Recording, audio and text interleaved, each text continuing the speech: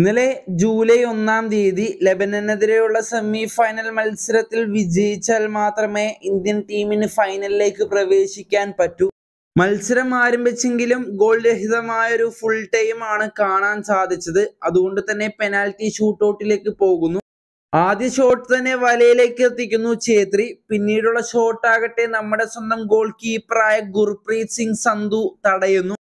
ഒരു നിമിഷം നമ്മുടെ ആരാധകർ സന്തോഷിക്കുന്നു. പിന്നീടുള്ള ഒരു ഷോട്ട് ലക്ഷ്യത്തിലേക്ക് എത്തിക്കാതെ വന്നപ്പോൾ ഇന്ത്യൻ ടീം അങ്ങനെ ഫൈനൽ സ്വപ്നത്തിലേക്ക് എത്തുന്നു. അവിടെ നിന്ന് നമ്മുടെ ആഘോഷം ആരംഭിക്കുന്നു. ഛേത്രി ആകട്ടെ കൈകൂപ്പിക്കൊണ്ട് ആരാധകർക്ക് നന്ദി പറയുന്നു. നമ്മുടെ കോച്ചി ഗോസി മാച്ചിന്റെ മുഖത്തിൽ നമുക്ക് ആ സന്തോഷം കാണാനും സാധിക്കുന്നു. മത്സരശേഷം ഛേത്രി തന്നെ പറയുന്നു ഇത് വളരെ ടഫായിട്ടുള്ളൊരു മാച്ച് ആയിരുന്നു.